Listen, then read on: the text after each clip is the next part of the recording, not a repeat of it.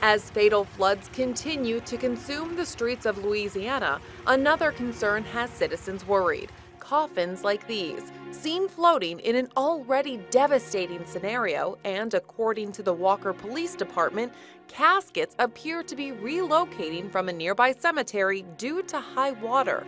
Some are calling the flooding worse than Katrina, after as much as 17 inches of rain fell in parts of the state. Unbelievable.